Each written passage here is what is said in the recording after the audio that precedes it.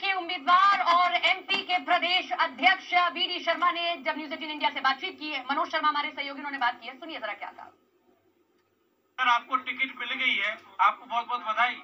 मैं माननीय प्रधानमंत्री जी का, माननीय राष्ट्रीय अध्यक्ष जी का, माननीय अमित शाह जी का हृदय से धन्यवाद करता हूँ पूरे केंद्रीय नेतृत्व का। मुझे पुनः खजुराहो की जनता की सेवा करने का, बुंदेलखंड की जनता की सेवा करने का अवसर दिया है। इसलिए उनका बहुत हृदय से धन्यवाद।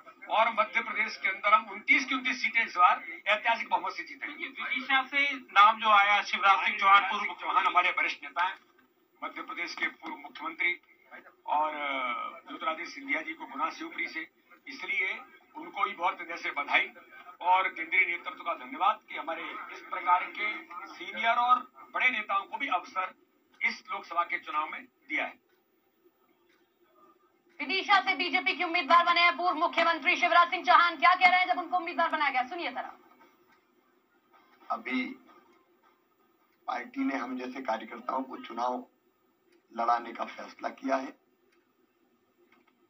राष्ट्रीय पुनर्निर्माण के मिशन में गिलहरी की तरह योगदान देने का अवसर पार्टी ने दिया है और प्रधानमंत्री जी के नेतृत्व में विकसित भारत का संकल्प पूरा होने वाला है। उस संकल्प की पूर्ति में अपनी संपूर्ण क्षमता को लगा के हम काम करेंगे। मैं माननीय प्रधानमंत्री जी का, आदरणीय राष्ट्रीय अध्यक्ष जी नड्डा जी का, अमित जी का केंद्रीय नेतृत्व का आभारी हूँ।